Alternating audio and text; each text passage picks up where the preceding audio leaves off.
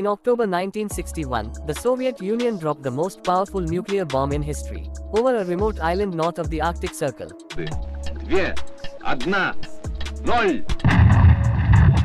Though the bomb detonated nearly 2.5 miles, 4 kilometers above ground, the resulting shockwave stripped the island as bare and flat as a skating rink. Onlookers saw the flash more than 600 miles, 965 kilometers, away and felt its incredible heat within 160 miles. The bomb's gargantuan mushroom cloud climbed to just below the edge of space. This was RDS-220 also known as the Tsar Bomba. Nearly 60 years after the bomb's record-shattering detonation, no single explosive device has come close to matching its destructive power. Soviet Premier Nikita Khrushchev personally commissioned the construction of the Tsar Bomba in July 1961 while Khrushchev wanted a 100 megaton nuclear weapon, engineers ultimately presented him with a 50 megaton version, equivalent to 50 million tons, 45 million metric tons, of TNT detonated at once. The bomb was thousands of times